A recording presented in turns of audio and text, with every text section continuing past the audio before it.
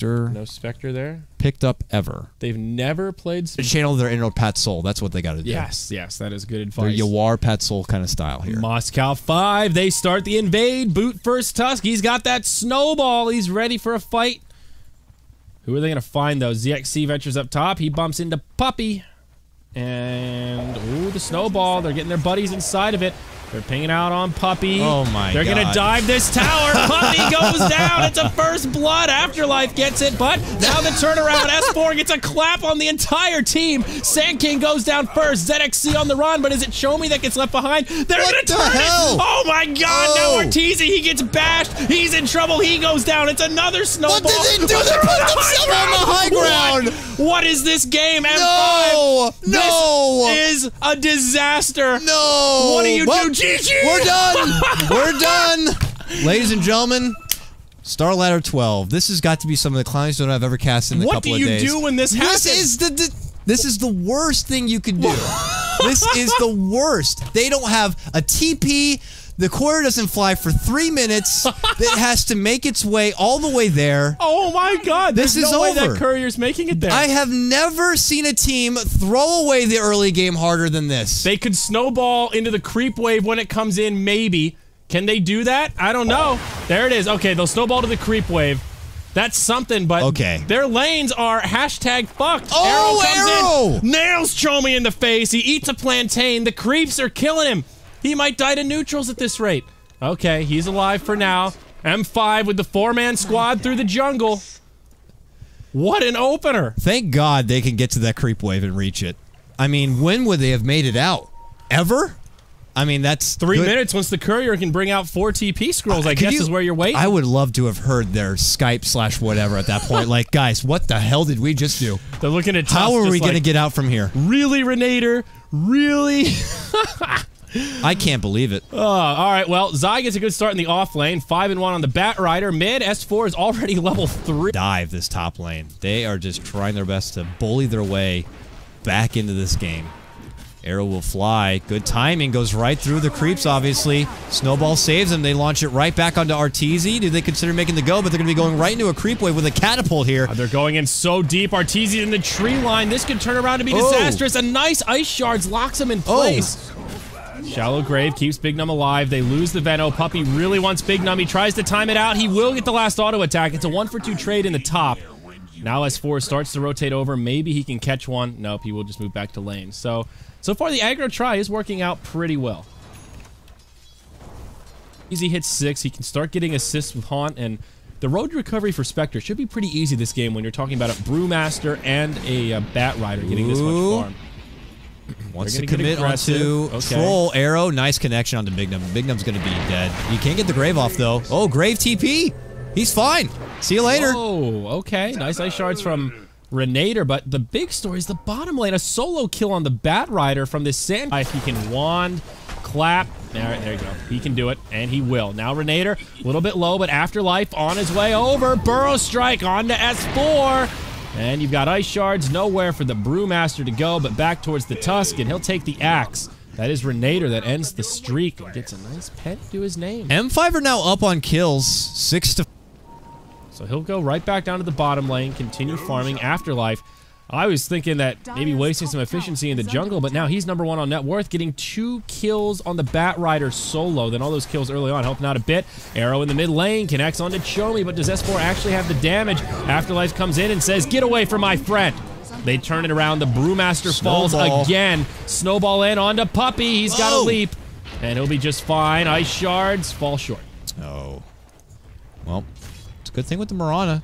Pretty elusive. Could easily sidestep a snowball coming. Mm-hmm. No problem about that. In fact, their lineup it together. Top. Does Pretty Arteezy die here? ZXC dives in ranged axes, melee axes. Tower goes down to the Radiant. Oh, the top lane, but that's not really happening. M5 starting to rotate up. Arteezy, still not too much to his name as he's now relegated to the Oh, mid lane, they get the jump onto the Venomancers, just trying to finish out a Midas, bro, but he's going to get caught stunned. Arrow comes through. Beautiful KS setup right there from Puppey. Yep, he still buys the Midas recipe though, so not all bad. S4 up in the top lane, gets off a primal split, but it's used defensively here. Can he find a kill out of it? Big Num stunned up by the boulder, but he has a grave. He should be just fine. Arteezy on his way up, trying to push back Renator, but there's ZXC. It's a haunt. He tries the reality away, and it looks like he goes towards the mid lane. Sand King kills Puppey somewhere else. We're going to stay true to the course. Zai coming in. Once the cleanup kills, Brew brings down the Dazzle. And can they find another one? Looks like they'll make a ZXC sandwich as Kuro rotates in from the mid lane. Swap back. Sticky stacking up. There's your magic missile. And Flame Break, just as Chomi comes in, connects with the Venomous Gale.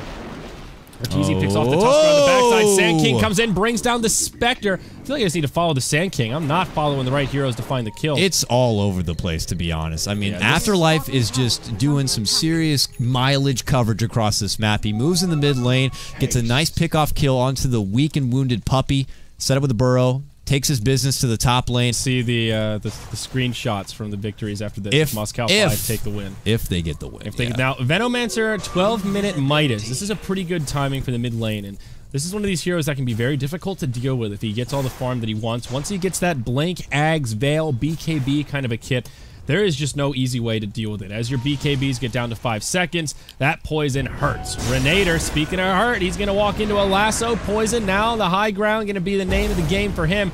Actually lives through the onslaught, gets into a snowball, but rest assured it'll be melted pretty quick by all this fire. Yeah, there we go. It's a nice thing with Tusk is you can always prolong your death, which does create more time for them to kind of be there and deal with you. And that's when it's nice if you get like something like a blink dagger on your Tusk. If you kind of go with that support road of a Tusk where you want to be a savior or kind of help out your team or make good initiation calls.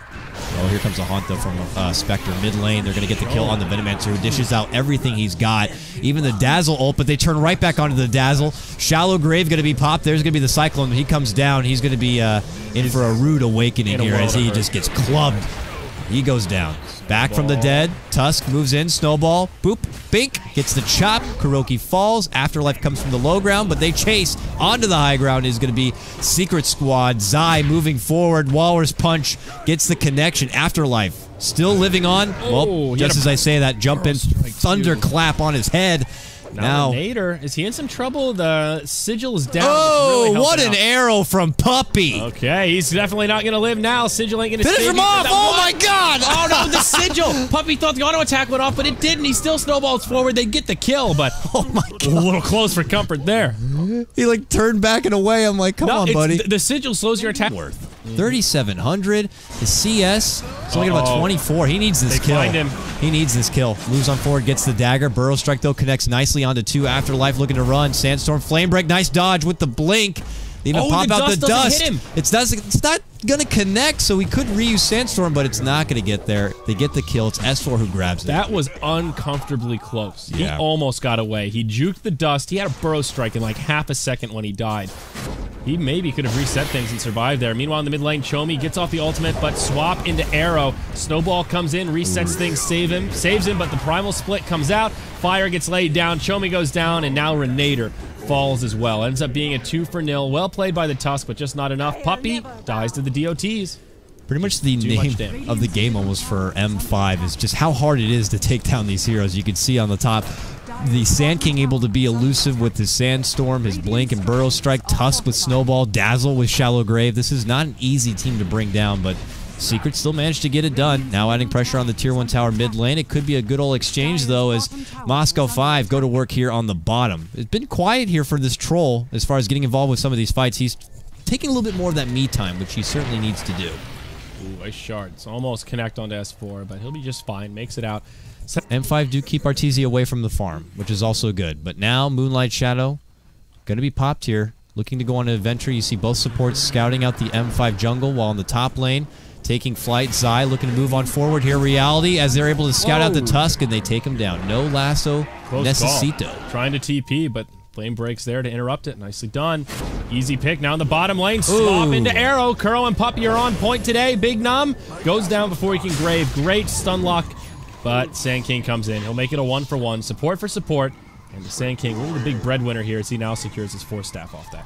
Venomancer, after grabbing the Midas and building up some farm, next item gets a Blink Dagger. So the early start of that Kamikaze kind of build up for Venomancer. Uh, probably going to be looking to go for an Aghanim's Scepter next, Yeah, and then pretty much you. Real item. Yeah, BKB mitigate that damage on Venom. could be the pipe guy for his team. Why not? Right? Ah, pipe guy. Okay. Pipe guy. I feel like at this rate, though, he's going to have slot issues if he goes for a pipe because he's already almost capped out with slots for now. ZXC lassoed, pulled back behind the tower. They've got the damage to bring him low, but can they finish him off? S4, Primal Split after the clap. Afterlife gets off an Epi, does some good damage, but no kills. ZXC very low, Oh. will finally go down to S4. Now he's chasing out Renator. Looks like he'll continue to chase there. Kuro with a stun on the Chomi, right into an arrow. Chomi should be destined to fall, and Zai tangling with the bat or with the uh, the guy that just killed him, the Sand King. Wow, Bignum, what a save on the Venomancer. He does end up going down. Oh, what a jumping clean out from S4. Ultra kill on your brew. What an Ugh. awkward fight. That was all of these little 1v1s where everybody Yeah. just like, it was like basketball. Just, all right, I've got this guy. I've got my guard here. And it worked. They don't need it though. Troll does it so damn fast. Yeah. Secret smoke up. They start making Oh, movements. they got to run there quick. The Bat Rider, the one who can really get it done, was the one who helped out with that kill top Gotta lane. pull the trigger on the Haunt. Just scare him out of the Rosh pit. They're not going to get here in time. Rosh goes down Oh. to Radiant. Troll picks up the Aegis. Haunt. Now the Haunt comes in. S4 pokes forward. Who do they have here? Sand King buys back for this. Snowball buys him a little bit of time. Solo Grave onto Big Num. But Chomi will be the first target to go down. Now they finish off the Tusk. It's a giant cluster around the Rosh pit, but Dazzle goes down next. It's looking bad for Moscow 5. ZXC does still have the Aegis. Sand King trying to make it here. They get a recovery kill onto the Spectre. That helps, but it's already a one for three. S4 bumps into Afterlife. Remember, he does have the epicenter here, so maybe a chance for some more kills. Stun onto Kuro. ZXC makes it happen. Now it's a two for three. Are we still on chase? Okay, no, he decides to pull back. S4 and Bruce Split right there doing a lot of work to help them out in the early start of the round. I'm very curious to see what he's going to get. Yeah, can't underestimate the power of the sigil uh, either. Tusk is putting some points in it. We'll see initiation onto the Bat Rider. Swap out to keep him safe. Kuro takes the Walrus Punch. Axes go flying around. There's that Ice Shards. And Renator, does he actually end up falling here? He snowballs into the base. You better find this kill. He brings Afterlife with him. Renator goes down one for one. But it is M5 asserting their dominance here. They dive into the tier 3s for that. Split push is real, though. S4 gets a tier 2 tower in the bottom lane, and meanwhile, Arteezy just continues to soak up farm in that safe lane. Nothing of value really lost here for Secret. They just trade one for one, but mm-hmm. getting those towers does tip that little skirmish into their favor. Scotty now complete on your troll. Jump top. The next second, he's at the ancient camp of Radiant Side taking out a Vengeful Spirit. Yeah, he is absurdly fast. Top tier 1 tower will fall. There is not a glyph available, and they give this last hit to Arteezy. It'll help his bottom line, of course. Puppey, meanwhile, in the bottom lane, trying to repel this push at their tier 2. Axe is okay. Never mind. Here we go. There's the initiation. Blink in. Primal splits used. They'll put the troll up in the cyclone. They isolate the tusk. He goes down next. And they're just going to try to chase down Chomi. Not much the Veno can do to get out. He falls. ZXC almost TP's home. The arrow misses him, but there's that Cyclone from the Storm Panda. And this will be a disastrous fight for M5. Secret Man. come back. The hammers are falling from the skies. and it's a three for nil. S4 is going crazy on this brew. He 14, is 2, and playing, 10? He is playing so good. It's like he's totally the unsung. he- He's 14 and 2, so you can't say he's an unsung hero, but you get caught up in everything else that's going crazy in this game. You just kind of forget the fact that he's been putting in so much work. Actually melting faces. Yeah. Yeah. It's, it's very true. They're looking for a gank onto Afterlife. They smoked up for this, and they won't find it. Actually, did they smoke and it expired? I'm not even sure. Getting loopy at this hour, man. Your brewmaster though has his Experience. This Yeah. lead is just jumping in the favor of the Dire. You see the kills really adding up. 36 to 19. Now M5 go for a very high risk play here into the Rosh pit. Secret are ready and waiting. They didn't even smoke in here. Oh, ZXC boy. caught by the lasso, split from S4. There will be a snowball, but just buys them a little bit of time. Big Num goes down first. Now ZXC in the middle of the pit. Fire being laid down. He's whirling those axes, but it just doesn't seem to make a difference. Walrus punch on Zai. He shrugs it off. Panda's starting to go down. Burrow strike away, but Puppey chases him down. Chomi misses the Gale. Now on the other side of the fight, ZXC finally dies as Arteezy joins the party, uses the haunt. Reality's in. Now going hard onto Chomi, following in to Afterlife. Can he close the gap? It looks like Afterlife may live, but quite obviously here a very successful fight for Team Secret. No hmm. buybacks utilized, all five still alive, and they kill three on the side of Moscow 5. And if they want, they could heal up here. They have Puppey with a couple of urn charges to start sending out, and they will go for the Rosh. So they will take the Aegis themselves. That was ballsy is an understatement there for Moscow 5. They Just kind of smoke like, in. "Get- let's just go for Rosh. I mean, there's this ward right here. It saw him coming from a mile away, and they're just like, yep, let's just like charge. You know, I don't see secret on the map. Maybe they aren't at Rosh. Let's just go in and make it happen. I don't know. That seemed like a gamble, or a, a roll of the dice, but they got Fills the epi, and oh, no, he doesn't. second Can't lasso is going to catch Troll and pull him back now. Buy back onto the Sand King, though. Here's your haunt. This is rough for M5. They're putting up the best oh. fight they can, but I just don't think they can do it. The snowball stops Arteezy in front of the well, but now Renator, boom, bada bing. It's Crits over. from S4. Whoa! Big Epi comes out, but Secret just live right through it. They shrug it off and go, yeah, nice Epi. We're still alive. Son Renator now dealing with the split of the Brewmaster. That's a dieback for him. Arteezy still alive. Cyclone onto the Venomancer. He's getting low, but not low enough to be fra- afraid of squaring up against Chomi. Now the Veno goes down, and M5 will tap out. GG is called. What a series, man. What a series. People come into this series like this, they see the odds, and they figure Secret are going to get in here and just do whatever the hell they want. Well, for Yeah. two games, they pretty much did. But, but, props again to Moscow 5. This team came in late notice. I don't know if they were playing in anything else. They could have just been like, quickly throw together their five man roster, which is clearly some new players, and they take the spot of Virtus Pro. Their first day, their fir- M5 do keep Arteezy away from the farm, which is also good. But now Moonlight Shadow going to be popped here, looking to go on an adventure. You see both supports scouting out the M5 jungle while in the top lane, taking flight. Zai looking to move on forward here. Reality as they're able to scout out the Tusk and they take him down. No lasso Close necesito. call. Trying to TP, but Flame breaks there to interrupt it. Nicely done.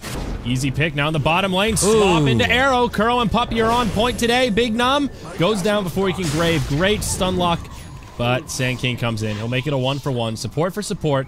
And the Sand King, really the big breadwinner here as he now secures his four staff off that. Venomancer, after grabbing the Midas and building up some farm, next item gets a Blink Dagger. So the early start of that Kamikaze kind of build up Mm-hmm. for Venomancer. Uh, probably going to be looking to go for an Aghanim's Scepter next, Yeah, and then pretty much you